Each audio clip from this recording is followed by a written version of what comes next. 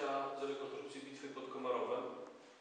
E, Jest to e, rekonstrukcja tej bitwy rozgrywa się na, jest co roku na polach e, właśnie na Zamoszynie pod Komarowem, gdzie rozegrała się ostatnia największa kawaleryjska bitwa w XX wieku.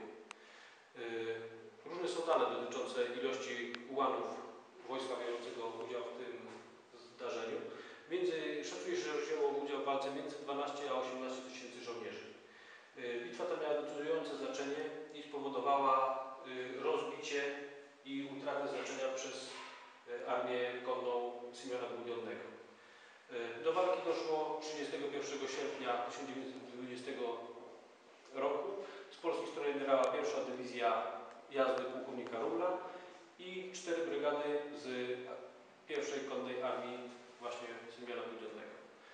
Y, Straty polskie wyniosły 300 jeźdźców, ze strony rosyjskiej zginęło około 1,5 tysiąca.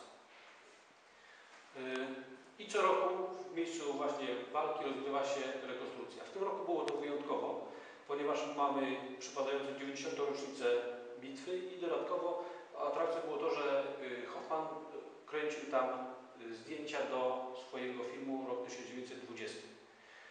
Y, W zdarzeniu tym corocznie bierze udział studencka organizacja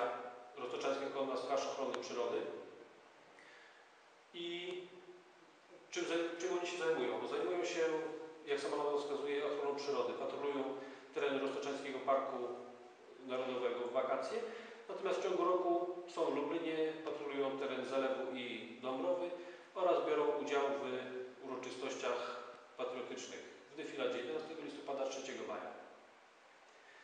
W tym roku właśnie mieli y, dodatkowo dużą atrakcję, ponieważ brali udział jako statyści w filmie. Chociaż grali tamtych zdjęciach. W zdarzeniu w tym roku wzięło udział ponad 300 koni, co też nierzadko zdarza